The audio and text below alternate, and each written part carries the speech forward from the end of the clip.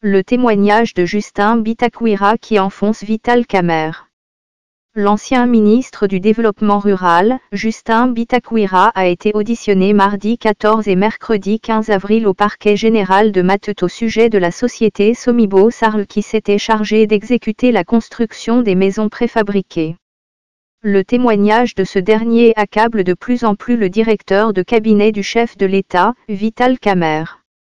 Lors de l'audience en chambre du Conseil du 10 avril 2020, le directeur de cabinet du chef, Vital Kamer, était accusé de détournement de fonds en passant par le mécanisme d'attribution des marchés publics de gré à gré à des entreprises fictives notamment Samibo, qui avait reçu, en numéraire liquide, la somme de 47 millions de dollars USD, 47 millions de dollars américains, par la Robank et à l'entreprise Trade Plus qui a reçu 10 millions de dollars américains, 10 millions de dollars américains pour la fourniture des médicaments sans omettre tant d'autres griefs dont les enquêtes sont en cours.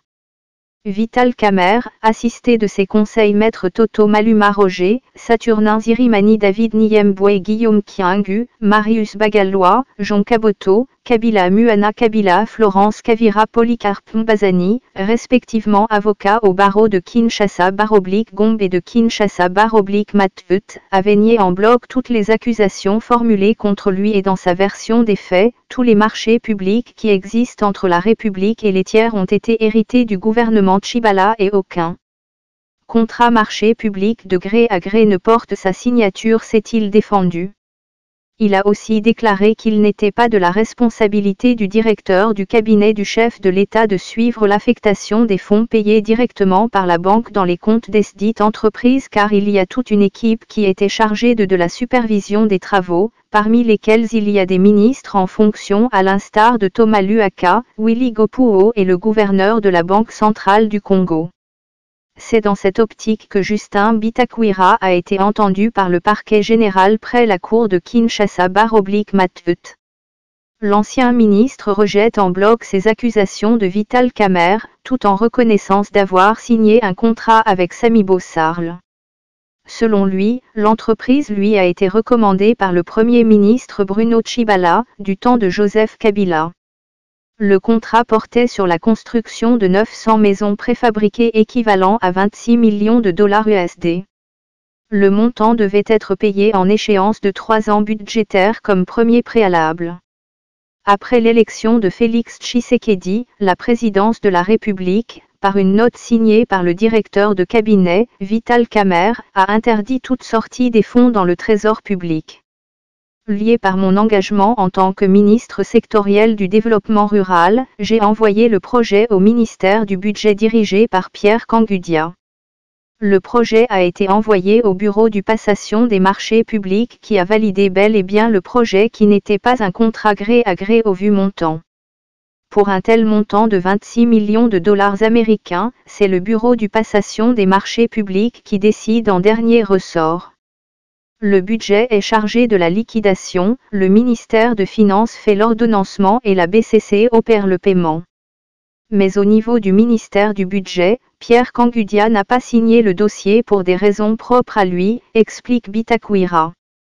L'ancien ministre expliquera, avec raison, que selon la procédure officielle, pour des telles opérations, ce n'est pas le ministre sectoriel ou le ministre du Développement rural qui signe le bon d'engagement c'est le ministre de Budget qui signe le bon d'engagement et l'envoie chez l'OD.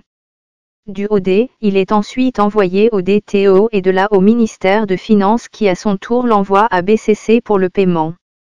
Et dès qu'il a été décidé qu'il n'y aurait plus de mouvement des fonds sans l'aval du directeur de cabinet du chef de l'État, le projet en question est devenu comme un papier errant entre mon ministère et le ministère du Budget, ajoute Bitakwira. C'est la raison pour laquelle durant cette période allant de janvier à septembre 2019, lors de l'entrée du nouveau gouvernement en place, moi en tant que ministre, je n'ai plus su à quel niveau les opérations financières ont été effectuées. Elles effectuées peut-être entre la BCC et Samibo et cette dernière ne devait que se référer à envoi l'ordre du directeur de cabinet du chef de l'État pour que la Banque centrale paie, insiste-t-il. Une confrontation au parquet entre Bitakwira et Kamer. Justin Bitakuira explique ni lui, ni le gouvernement du Premier ministre Bruno Chibala n'avaient participé à des opérations financières autour de ce projet, avant de faire une révélation de taille, donc pour moi, ni de loin ni de près moi ou le gouvernement Chibala n'avons été sollicités ou intéressés par la suite de ce dossier. C'est moi qui a signé un contrat avec Samibo Sarl de 900 maisons pour l'équivalent de 26 millions de dollars américains et la présidence de la République par le biais de Vital Camer a sollicité un rallonge de 600 maisons et le montant a été doublé de 26 millions à 57 millions de dollars américains. Le Bureau du Passation des marchés publics m'a écrit pour me dire qu'il s'agit d'un nouveau projet et non du projet initial que moi j'ai engagé, moi Bitakuira, je ne suis pas impliqué dans ce dossier ni de loin ni de près. Et toutes les opérations financières faites je n'en sais rien, ni combien a été payé à Samibo, ni combien le directeur de cabinet a demandé à la BCC de verser au compte de la société Samibo, insiste-t-il des allégations que l'on peut vérifier dans un document qui nous est parvenu où l'on peut observer que le premier contrat entre Samibo Sarl et le ministère du Développement rural a été signé en avril 2018 relatif à la construction de 900 maisons préfabriquées dans 9 provinces d'un montant de 26 750 000 dollars américains mais aussi un avenant de ce contrat signé avril 2019 entre le groupement des entreprises, Samibo Sarl, Sarl Kamod Prefabri Yapi avec le ministère du Développement rural pour un montant de 57 600 000 dollars américains. Une confrontation entre Vital Kamer et Justin Bitakuira est prévue dans 48 heures selon des sources proches de la justice. Un nouveau direct AB à la présidence, le duel silencieux entre Kamer et Tshisekedi. En prison, soupçonné des faits graves de détournement, Vital Kamer refuse pourtant de démissionner de son poste de directeur de cabinet du président Tshisekedi. Les dessous d'un énième duel entre alliés de l'accord de Nairobi. Vital Kamer reste bien en prison. Du moins, pour 15 jours. La détention préventive du directeur de cabinet de Félix Tshisekedi a été confirmée en appel mercredi 15 avril par le tribunal. Pour autant, le même mercredi, le président de l'Union pour la nation congolaise, UNC, a posé un geste très symbolique. Depuis sa cellule, Vital Kamer signe un document des condoléances à l'endroit du président de la République. Le chef de l'État pleure en effet son oncle et père, Monseigneur Gérard Mulimba, emporté par le coronavirus. C'est avec une grande tristesse que je viens d'apprendre, ce jour, le décès de votre oncle, votre papa, l'Excellence Monseigneur Gérard Mulimba, dit Vital Camer dans un communiqué dont une copie est parvenue à politico.cd. Mais ce document comporte une particularité. Dans son en-tête, signé depuis la prison centrale de Mekale, Vital Kamer prend bien soin de mentionner message de condoléances du président national de l'Union pour Nations congolaises, directeur du cabinet du chef de l'État, à son Excellence Monsieur le Président de la République, chef de l'État, Félix Antoine Tshisekedi Chilombo Excellence Monsieur le Président de la République, avec l'expression de mes hommages les plus déférents. En clair, même depuis la prison, Vital Kamer se considère ainsi toujours comme le directeur de cabinet du Félix Tshisekedi. Refus de démissionner. Pourtant, derrière cette posture, se cache un duel silencieux entre le chef de l'État et son allié. En effet, si, du point de vue du droit, Vital Kamer continue bel et bien d'être le directeur de cabinet de Félix Tshisekedi, sa démission est plus que requis, conformément au code de bonne conduite opposable aux hauts fonctionnaires congolais. Mais le président de l'UNC refuse de jeter l'épongée, motivé par le fait que lui et ses partisans considèrent que les accusations à son encontre, y compris son emprisonnement, comme une campagne politique visant à le neutraliser. C'est tout simplement regrettable. Un homme, c'est le respect de la parole. Nous comprenons que le problème, c'est l'accord de Nairobi. Il faut déjà éliminer quelqu'un comme Vital Kamer, il faut le rendre inéligible en créant des dossiers autour de sa personne pour le salir, a accusé le porte-parole l'UNC, se l'ayant en bas, lui-même conseiller du président Tshisekedi. Comme lui, des proches de Vital Kamer soupçonnent, sans le dire nommément, le président Tshisekedi d'être à la base de l'emprisonnement de leur leader. Vital Kamer le pense également. Aussi, depuis son emprisonnement le 8 avril dernier, il a rapidement adopté une double posture. D'abord celle du parfait collaborateur, contrastant avec les déclarations de ses cadres.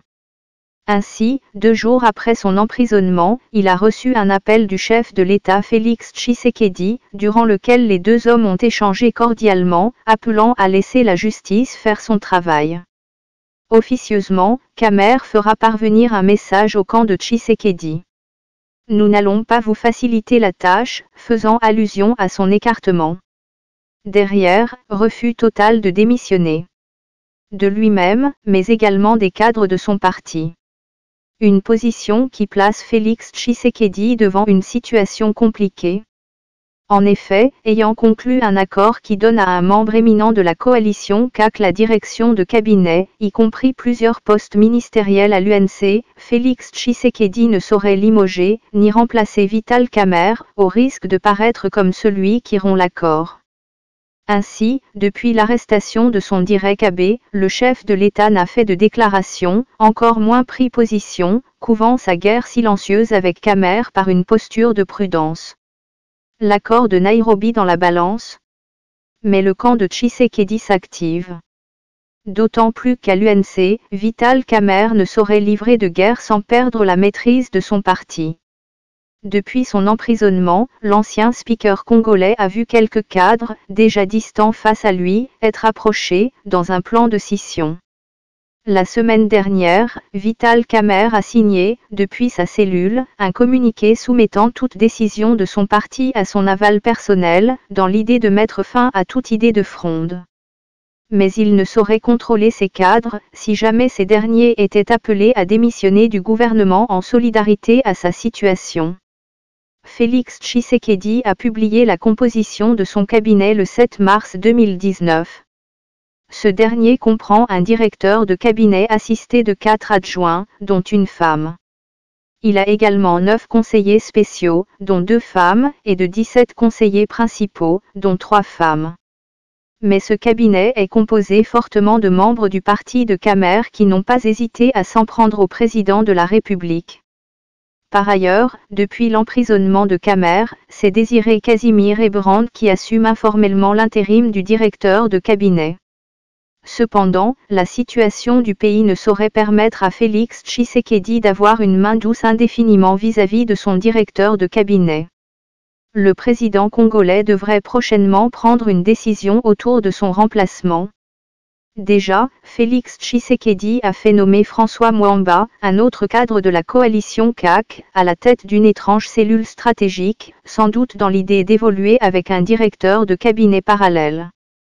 Toutefois, sur le plan administratif, il lui faut soit confirmer Eberand, ce qui revient à limoger Kamer, soit nommer un nouveau directeur de cabinet, avec la même conséquence. Des discussions sont en cours au sein de la coalition CAC pour trouver une solution quant au remplacement de Vital Kamer. Mais elle n'évolue guère. L'UNC refuse toute idée de remplacement. La guerre silencieuse devrait donc se poursuivre. Mais pour combien de temps?